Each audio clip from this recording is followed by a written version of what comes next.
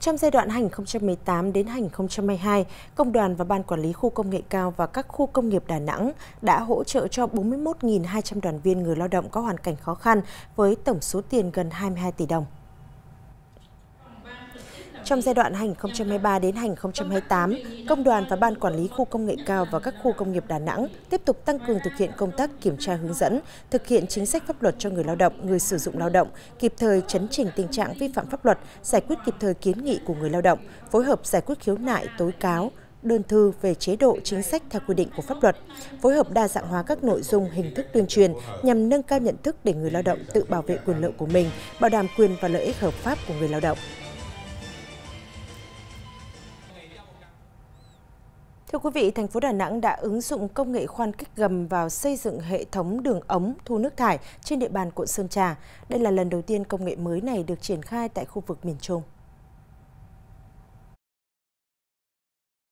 Dự án ống thu nước thải tại quận Sơn Trà, thành phố Đà Nẵng thuộc dự án cải thiện môi trường nước phía đông quận Sơn Trà, được thi công trên tuyến đường Ngô Quyền. Đây là tuyến đường huyết mạch có trên 1.000 xe container ra vào cảng Tiên Sa mỗi ngày vì vậy, phương án khoan kích ngầm là lựa chọn tối ưu vì không ảnh hưởng đến không gian bên trên mặt đường. Các nhân sự sẽ được tuyển tại Việt Nam với đáp ứng các yêu cầu về bằng cấp và năng lực tiếng Nhật. Sau đó sẽ qua một thời gian trải nghiệm ờ, trải nghiệm ờ, học hỏi thị trường ở Nhật Bản từ 3 đến 5 năm tùy vào mỗi người. Thì ờ, khi mà năng nhân sự có khả năng đáp ứng được công tác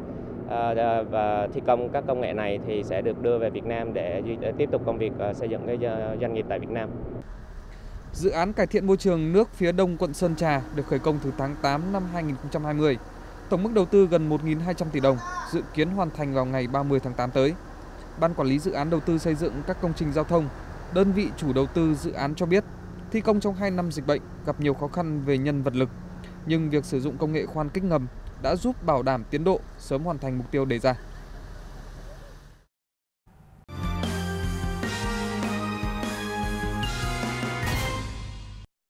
Từ dịp nghỉ, nghỉ lễ Tết cho tới thời điểm này, các cửa khẩu quốc tế đều đón nhiều đoàn khách nước ngoài số lượng lớn nhập cảnh. Ở trong nước, các tỉnh thành có thế mạnh du lịch thành công về lượng khách đến trong những ngày đầu năm. Điều này hứa hẹn một năm sôi động cho cả thị trường du lịch nội địa và quốc tế.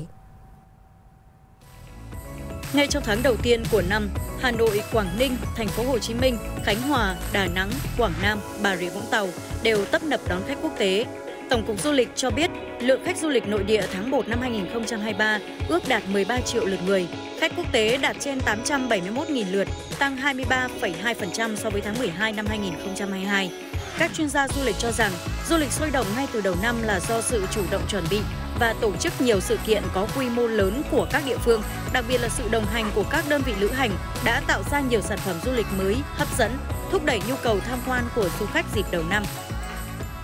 Sau dịp nghỉ lễ Nguyên đán vừa rồi thì ờ, cái tín hiệu cho du lịch đã có cái tín hiệu sôi động trở lại khá lạc quan và đặc biệt là cũng đã rất lâu rồi các cán bộ, nhân viên và các anh chị em trong công ty mới có một cái không khí làm việc là từ sáng tới đêm khuya và đây là một trong những tín hiệu rất là khả quan và cái ờ, nhóm sản phẩm chương trình mà du khách quan tâm đến cũng khá nhiều, rất phong phú, bao gồm cả chương trình tour trong nước cả chương trình tour đi nước ngoài, các quốc tế, mang lại những cái ờ, hy vọng rất lớn cho ngành du lịch trong 2023 có thể trở lại.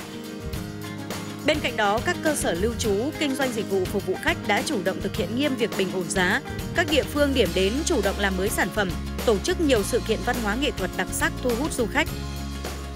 Chúng ta đã có một cái phục hồi hết sức là ngoạn mục với cái lượng khách đến à, các di tích nói chung và văn miếu nói riêng,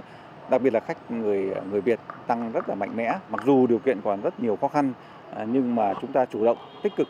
và đặc biệt là tổ chức thêm nhiều các hoạt động có nhiều các sản phẩm nữa, thì sẽ là cái điều kiện hết sức quan trọng để thu hút khách tham quan đến với các di tích nói chung và trong đó có văn miếu Quốc tử Trong tháng 1 phần nửa đầu tháng 2 này, chúng ta có những cái tín hiệu rất là khả quan về cả cái lượng khách ờ, du lịch nội địa cũng như lượng khách du lịch quốc tế. Và đối với thị trường khách du lịch quốc tế thì cái con số khách đến ờ, trong cái tháng ờ, 1 vừa rồi nếu như chúng ta cứ duy trì được cái cái con số này, có thể là chúng ta sẽ có những cái cái, cái kết quả tốt hơn cho cái mục tiêu hướng đến ờ, 8 triệu khách. Đây là tín hiệu tích cực cho thấy hoạt động du lịch tiếp tục duy trì được đà phục hồi và đã vượt qua khó khăn sau 2 năm dịch bệnh, hứa hẹn một năm sôi động cho cả thị trường du lịch nội địa và quốc tế. Thưa quý vị, trong những năm gần đây, ngành du lịch tỉnh Ninh Bình đã có những bước chuyển biến mạnh mẽ để du lịch phát triển bền vững trong thời gian tới. Bên cạnh việc nâng cao chất lượng dịch vụ, cải thiện môi trường kinh doanh, ngành du lịch Ninh Bình đang nỗ lực đa dạng hóa các sản phẩm thu hút du khách có thời gian kéo dài, trải nghiệm tại địa phương. Vừa qua, huyện Gia Viễn, tỉnh Ninh Bình tổ chức khai trương tuyến du lịch trải nghiệm gắn với bảo tồn phát huy giá trị lịch sử văn hóa địa phương với chủ đề Tìm về cội nguồn, thu hút đông đảo nhân dân và du khách tham quan. Đây được biết đến là vùng đất cổ giàu truyền thống lịch sử, nơi đã sinh ra vua Đinh Tiên Hoàng, là nơi ghi đậm dấu ấn của tứ trụ triều đình nhà Đinh và là quê hương của thiền sư Nguyễn Minh Không, là người có nhiều công lao to lớn với dân với nước. Huyện đã đưa ra chủ trương là đưa vào tuyến tour khai thác là theo dấu chân của vua Đinh Bộ Lĩnh và tìm về cội nguồn của Đức Thánh Nguyễn Minh Không với cái kết hợp cái việc đẩy mạnh cái nghệ thuật về nghệ thuật trèo cũng như là vũ điệu của vũ điệu cờ lau để tái hiện lại dấu tích về của Đức Đinh Tiên Hoàng. Cũng mới đây, Sở Du lịch tỉnh Ninh Bình đã tổ chức chương trình khảo sát, nghiên cứu, xây dựng sản phẩm du lịch mới thí điểm để khách du lịch trải nghiệm tuyến xe buýt 2 tầng tham quan thành phố Ninh Bình và một số khu điểm du lịch trong tỉnh. Dự kiến sắp tới du lịch Ninh Bình sẽ đưa vào hoạt động loại hình dịch vụ mới này. Tôi được đi xe buýt 2 tầng và với một người mà thích chụp ảnh ấy thì nó là một điều rất là hào hứng, ờ, rất là mong chờ được được đi nhiều như này nữa. Nay thì chúng tôi đang ờ, đẩy mạnh cái tập trung cái đào tạo rồi bồi dưỡng nhân lực giúp cho các doanh nghiệp có những cái kỹ năng có những cái kiến thức mới để từ đó thì xây dựng nâng cao trước hết là phải làm mới lại sản phẩm dịch vụ của mình. Thứ hai là nâng cao chất lượng dịch vụ của mình. Cái thứ ba là tiếp tục nghiên cứu để mà xây dựng phát triển những sản phẩm mới à, theo từng các cái địa điểm cho phù hợp cái tài nguyên phù hợp với lợi thế cũng như là nguồn lực Bên cạnh đa dạng hóa sản phẩm du lịch, ngành du lịch tỉnh Ninh Bình đẩy mạnh nâng cấp cơ sở vật chất, cơ sở dịch vụ ở các khu, điểm du lịch, phối hợp với các ngành liên quan tập trung đầu tư phát triển sản phẩm du lịch nông nghiệp, kết hợp với xây dựng nông thôn mới, nâng cao chất lượng sản phẩm du lịch sinh thái, du lịch văn hóa tâm linh, du lịch cộng đồng, làng nghề truyền thống, đẩy mạnh phát triển du lịch thể thao để tạo ra các sản phẩm đặc thù, hấp dẫn, có sức cạnh tranh cao và mang đậm bản sắc văn hóa của vùng đất con người cố đô Hoa Lư.